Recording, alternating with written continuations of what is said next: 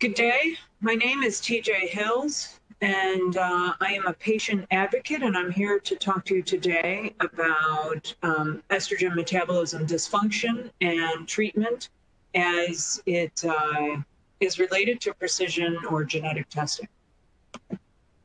Um, I'd like to start out just telling you a little bit about myself because I am not a physician and I am not in the medical field except as a patient advocate. I was diagnosed with stage 2B or now 3 breast cancer in 2009. At the time, I had absolutely no family history, both extended or immediate. Um, and it was um, like a, a jolt to the entire family. Uh, I did not like my prognosis odds. Uh, I was told that if um, I did everything that everyone told me to uh, successfully, that I would have a 30% chance of recurrence in five years. And if I did not do any treatment, I would have a 70% chance of death within five years. Um, so I found that pretty disturbing. I had two young children, um, three actually young children. And so I started studying adjunct treatments. And my background is actually in political science and finance. I have um, run a company specializing in financial re- research and political risk for over 25 years. And so while I did not know a lot about medicine, I do know quite a bit about statistics. And so I was able to train myself to read studies and to interpret the information and decide for myself uh, what was important or not. Now, I live in New York City. Uh, and so I, because of my proximity to some of the best hospitals in the world, um, had access to a lot of cutting edge research at the time. I had access to a lot of experimentation in cell, stem cell treatments, in cancer vaccines, some very innovative treatments going on. It was the very early stages of uh, immunotherapy.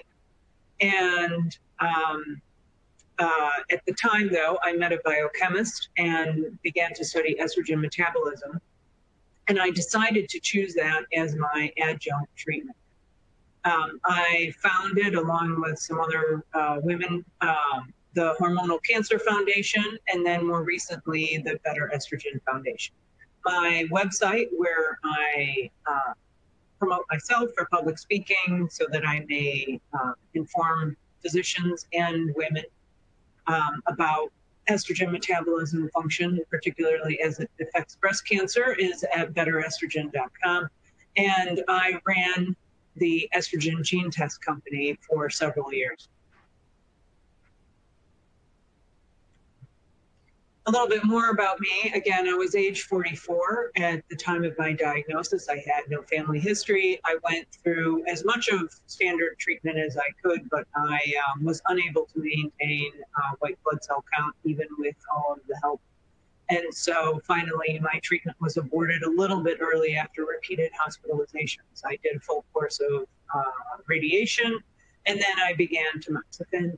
and after all of that, I joined an estrogen metabolism study and I started uh, nutritional supplementation to improve my estrogen function.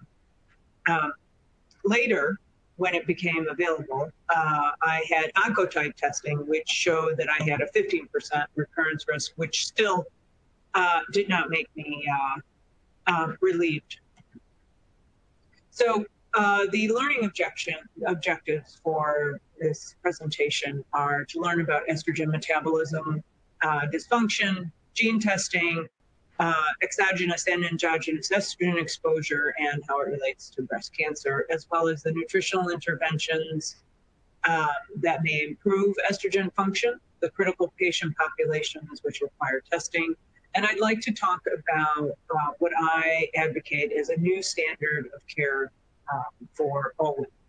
Um, and then uh, most of my time will be spent on case studies if you, uh, this is a diverse audience, I understand. And so if you would like to study more of uh, the background information, there is a lot of information, references, favorite studies of mine in the physician area of my website. And if you would like a full uh, refresher course on estrogen metabolism, my former chief scientific officer and partner, uh, Dr. Joe Beltman, uh, has many hours of that in the estrogen gene test company uh, physician training videos area. So I am going to very quickly speed through a review of um, a little bit of the background before proceeding to case studies. And, you know, just to make sure we're all on the same page, um, I, um, there, there are often, there often when you're talking about gene testing in breast cancer is, uh, is an automatic assumption about um, hereditary predisposition for breast cancer. And that is not at all what I'm talking about. In fact, um, I'm only talking about estrogen metabolism uh, function. The reason this slide is here is just to show that you know 80% of all breast cancer patients have no family history, um, any form of breast cancer, and 75% of all breast cancer is fueled by estrogen.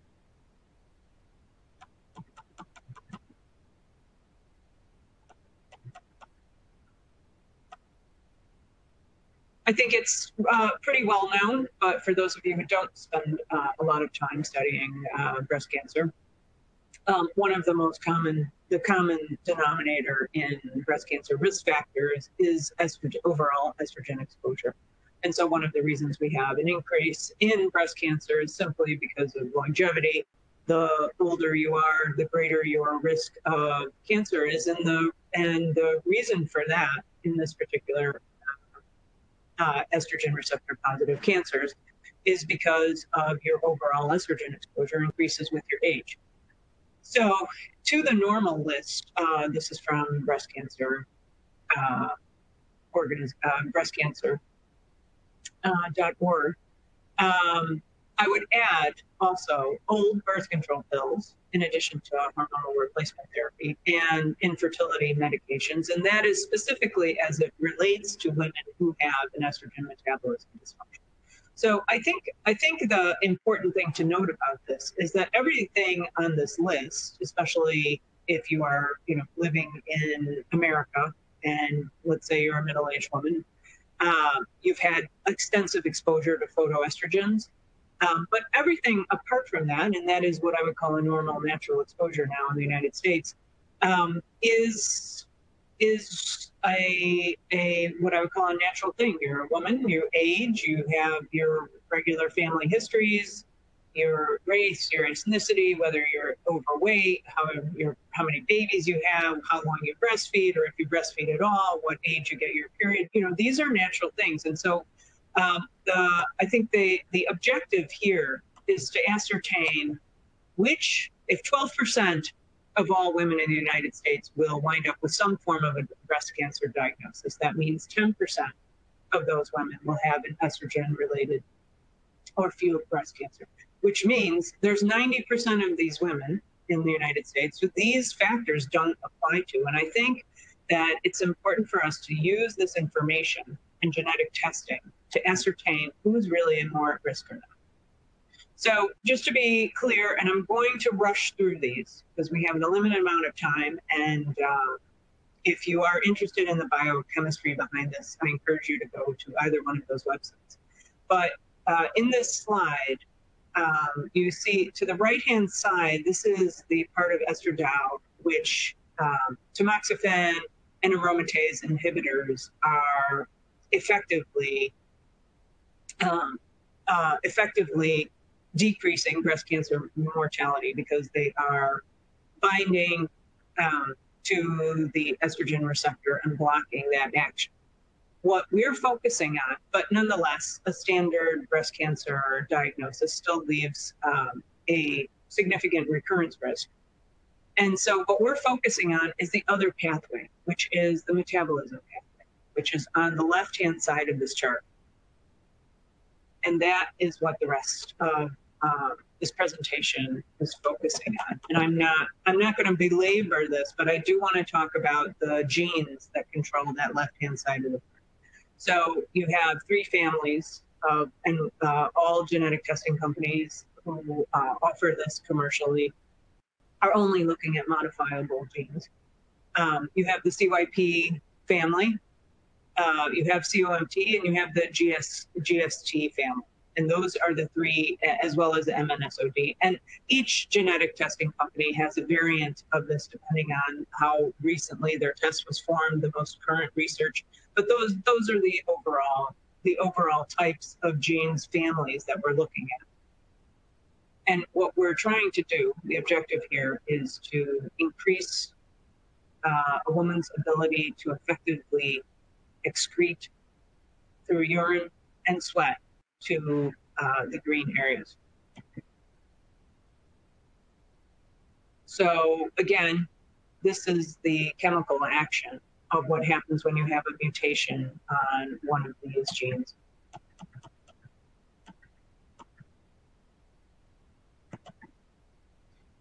Um, I like there's there's a lot of information in in both of the websites. I apologize. Um, I like this particular uh, study because it is a pooled study with 427 controls, 427 breast cancer patients, which shows that the more mutations on those families of genes um, and combined with the more estrogen exposure will result in the more breast cancer. And this this chart is um, also able, able to see, and what's you know visually impactful here is that you'll see that women who have less than three mutations on these on these genes um, are are healthy, less at risk, and then the profiles of both the women at high risk and the women with breast cancer are essentially identical. So what it isn't that tips women over the edge, and that is typically their uh, exogenous um, or endogenous estrogen exposure. So in, in these families, we're looking at um, only modifiable genes.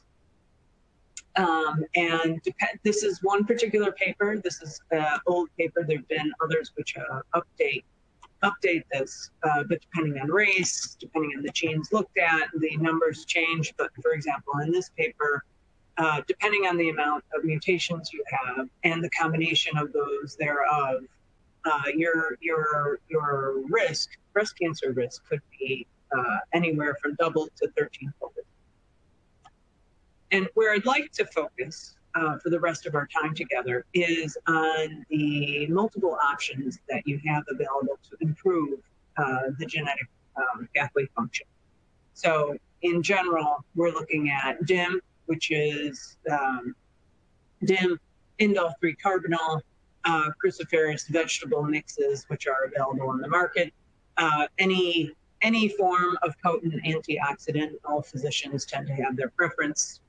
Mega doses of vitamin C, um, NAC, and as well as SAMe, which is you know available over the counter.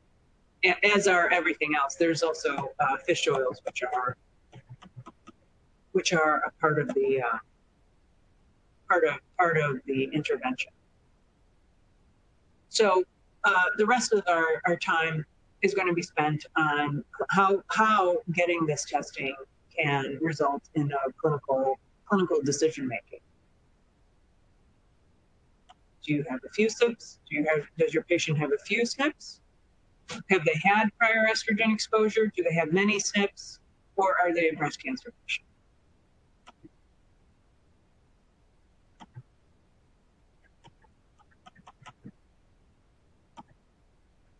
So I um, feel pretty strongly that uh, all women should have estrogen metabolism gene testing.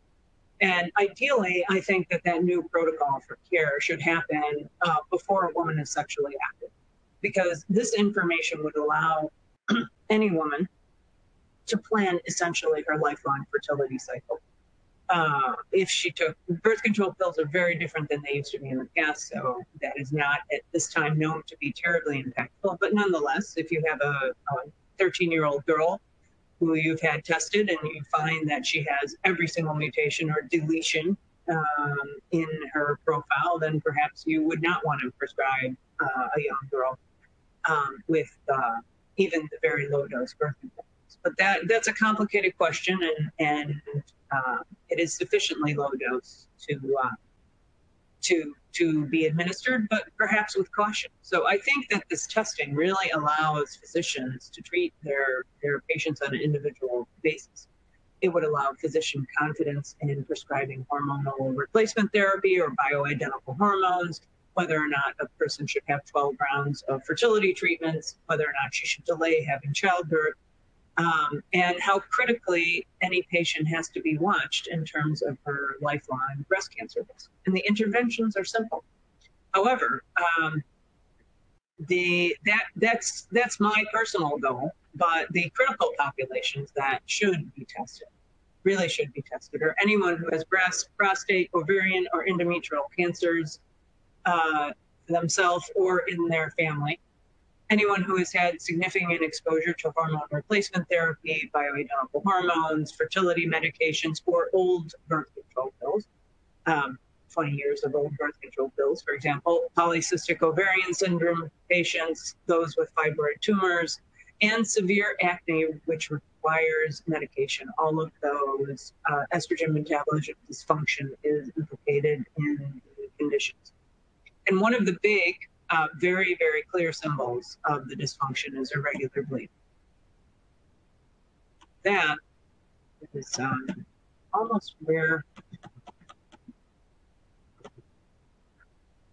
where we are. I'm going to talk about myself for quite a long time when we get to it, but um, what I am advocating is that physicians do a estrogen metabolism extended family history in order to assess um, if if those dysfunctions are running in the family.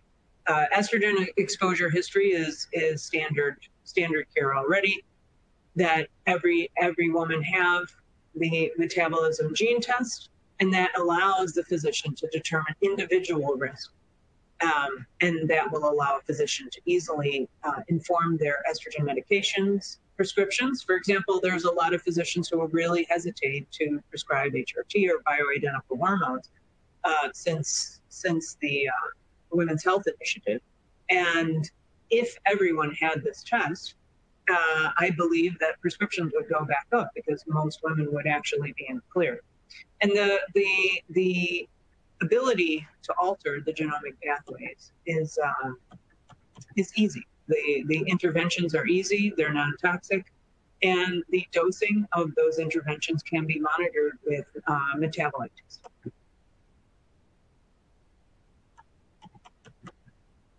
I'm, uh, before I digress, I'm just going to show an example of um, my former company's um, uh, mutations.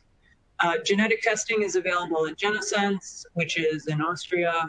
Um, Genova Diagnostics has an old test. That was the one I originally took.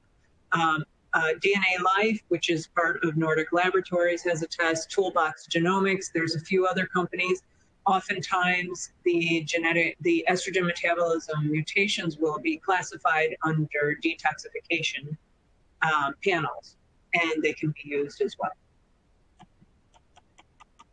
And so in this particular chart, what we're showing is uh, the interventions which improve the, the function. So DIMPRO, or you know the indole 3 carbinol for those who, who don't prefer uh, the stability of DIMPRO, um, DIMPRO, indole 3 carbinol, cruciferous vegetables, fish oils, SAMe, and an antioxidant of choice. Uh, those protocols would also include keeping a low BMI if at all possible, as uh, sometimes obesity could deter the results of tamoxifen in aromatase inhibitor or, or these interventions as well. Um, so uh, um, estrogen is is produced in the fat cells, endogenous estrogen, and so obesity is a factor as potent in some cases as as taking estrogenic medications. So uh, that is one of the prescriptions for improving estrogen health as well.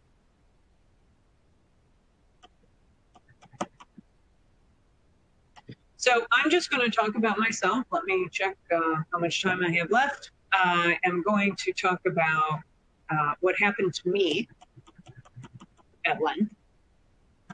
So uh, what happened to me is that I went through three extremely strong, um, extremely strong uh, IVF treatments, fertility treatments, and I participated in between uh, in between result two and three of the treatments in a very high dose DHEA study for for a few months, which was supposed to improve my my ovarian function. And um, after I completed those three treatments, um, about a year later, approximately, um, I began having irregular bleeding, which I had never had before. Um, and this um, this uh, became more severe and more severe. And I started to see um, OBGYNs. And um, uh, most of the physicians just diagnosed me as perimenopausal at the time. I was 41, 42, 43 years old. And although none of the blood work confirmed that I was anywhere close to perimenopausal, and my mother and her sisters had begun menopause at traditional ages between 53, 55. And, uh, you know, I was uh, very busy running my, my company. And I would have continued to ignore my irregular bleeding, but the irregular bleeding was making my migraines uncontrollable. And so I kept going to different doctors um, so that I could uh, continue my very high functioning alpha life. And um, uh, the only thing I was eventually offered was a birth control pill, which I didn't want to take because I knew it made my migraines work. But I finally tried it, and um, and that was really disastrous. Um, and finally, my husband put me in touch, insisted I see this integrated physician uh, pretty close to our home. And she started me on indole 3 carbinol, which was the first time where the bleeding began to regulate. However, it was too late because a, um, about two months or so after I began that treatment and, and started attending that OBGYN practice, um, my lump was found. And so, one of the things that really motivates me in my work here to promote uh, estrogen gene test function is what if originally, when I first started having irregular bleeding and first started seeing physicians, if I had been put on the interventions, if I had been, you know, my case history had been uh, taken, my family history, and my genetic background, and I had had these uh, interventions um, put into play at that earlier stage, what would have happened? Would I have developed the aggressive breast cancer that I have or not? So, uh, going back to me, so now we can add uh, 20 years of old birth control pills, three rounds of very high uh, dose IVF, and the DHEA study, as well as these other um, factors. I'm a woman. I had had one baby at that time. I had failed in breastfeeding. I had had a you know, pretty normal menstrual history.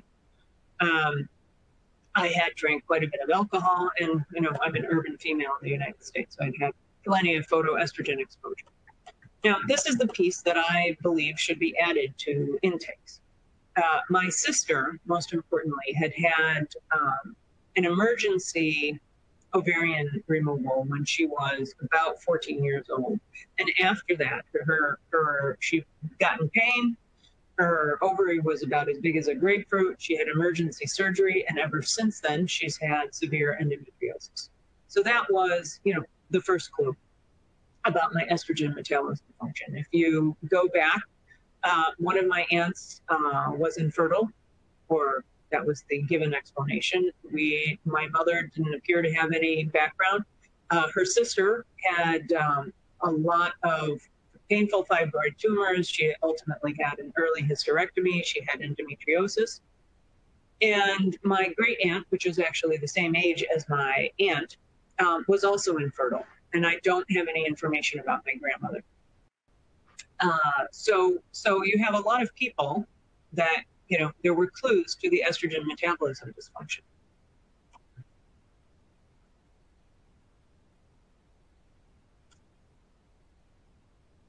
Um, and so this is a recent study um, that uh, a very recent study, which is on uh, one of the my website, which talks about how uh, indole 3 carbinol and DIM may reduce the risk of hormone-dependent cancers.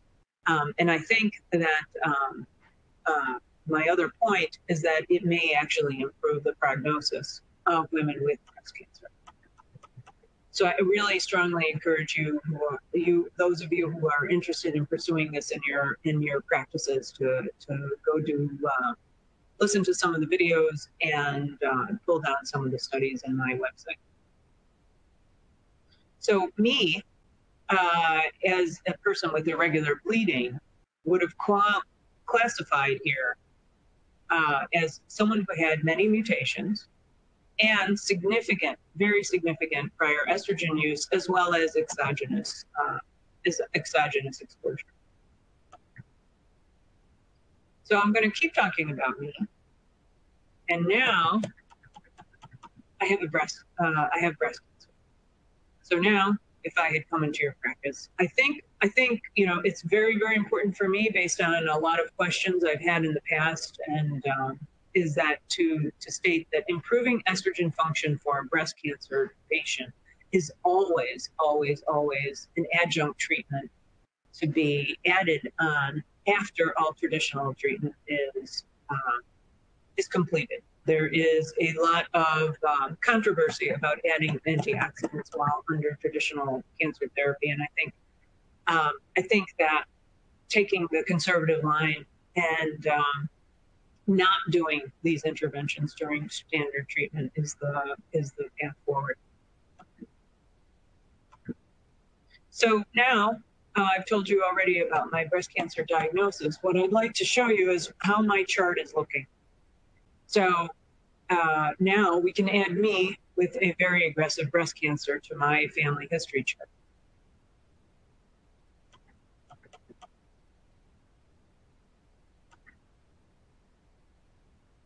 And if I were doing a new intake, we can just add my very aggressive breast cancer uh, with my unacceptable to me prognosis um, to my family history.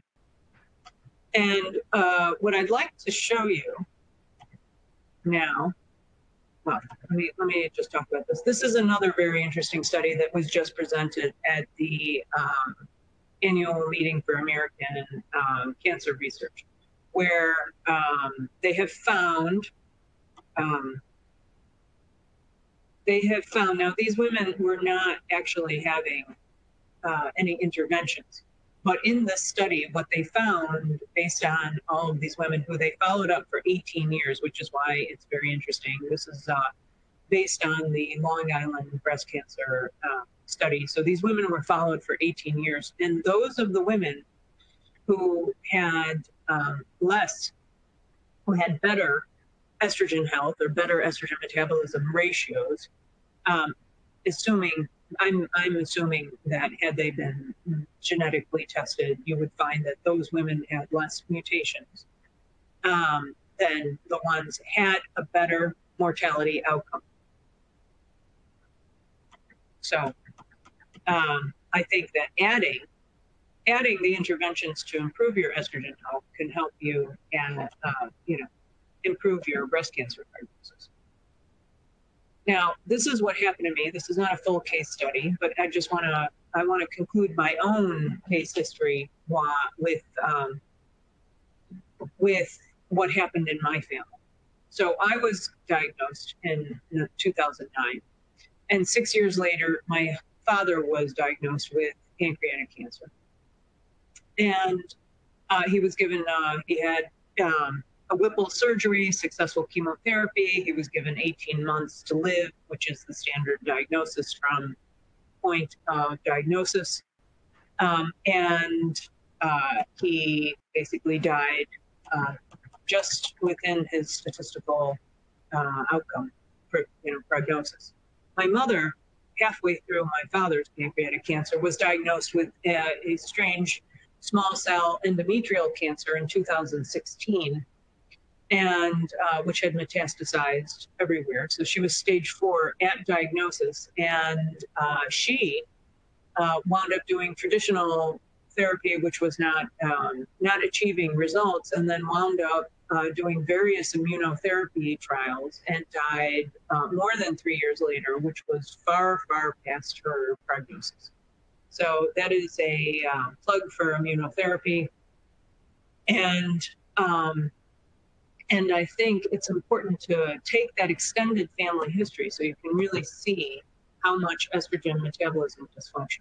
Uh, both both my mother's cancer and my father's cancer is strongly estrogen uh, estrogen driven, and um, and in my case, so because I'm high risk, I wound up having uh, hereditary genetic testing. My mother had no hereditary genes for her cancer, neither did my father. And then later, I was run up as someone who is high risk for pancreatic cancer.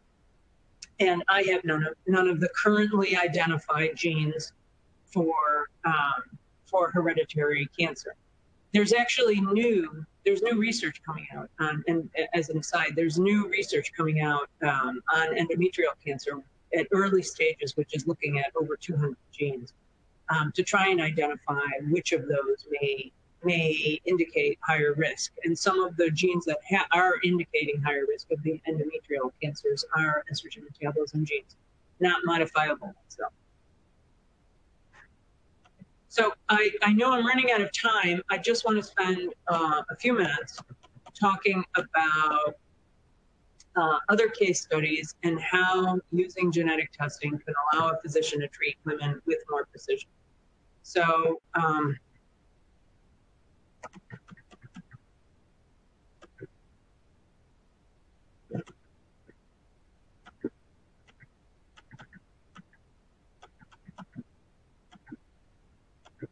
So here's an example of a 40 year old woman. Uh, her mother died from breast cancer, and it's been my experience that it's only women who have breast cancer uh, history of some form in their family that know about the dangers of estrogen exposure.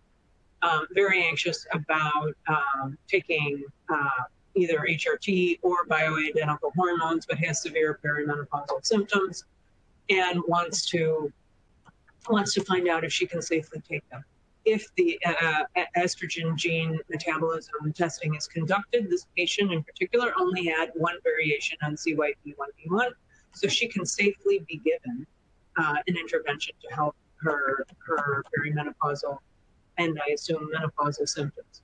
So she's falling on the very low risk.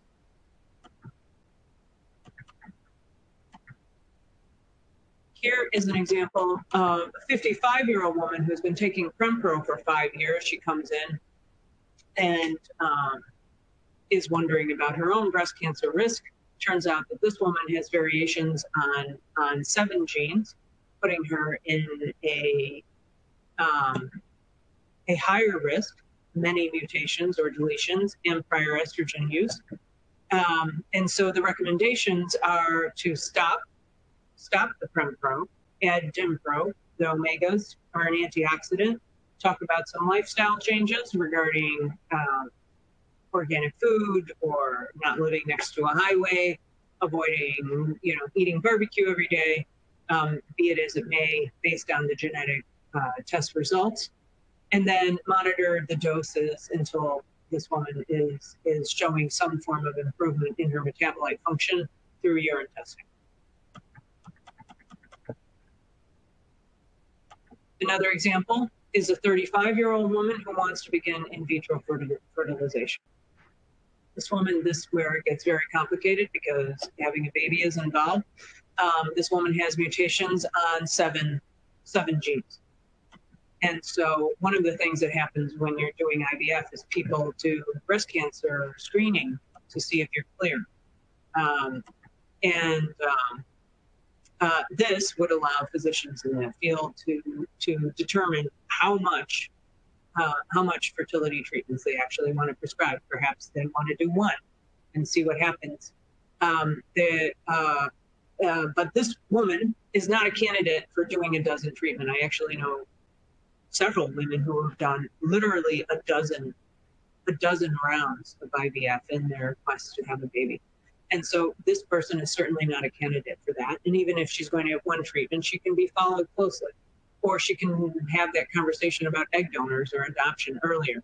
There's a, a new treatment which is up also in my uh, website where a cancer patient did not, the physicians chose not to give her fertility treatments to risk increasing her breast cancer or worsening her prognosis. And so they just went in, and she was a young woman. They just went in directly without giving her, uh, without giving her the medications, and were able to retrieve oocytes and mix them, grow them in the lab, and um, after her treatment, um, impregnate her safely. And I, I, think I think that in the future this this will be the way. This is this will be what happens, particularly for young. So for that woman who she has, she hasn't actually had any prior estrogen use. She's she's still here. Um, and after she has IVF, should the physicians choose to proceed with that, she can become here, where she can just be monitored more aggressively. And finally, here, um, this is the last one I'm going to talk about, is a 60 uh, year old woman with estrogen receptor positive breast cancer. She has variations on five genes, which are is certainly no uh, no surprise for any estrogen receptor positive breast cancer patients. And so, in addition to continuing her aromatase inhibitor, she will add Ginkgo omegas or the antioxidants and uh, you know, with someone who's postmenopausal, uh, once the dosing requirements are, are showing an indication of improvement, that metabolite testing can happen yearly um, as part of an annual checkup.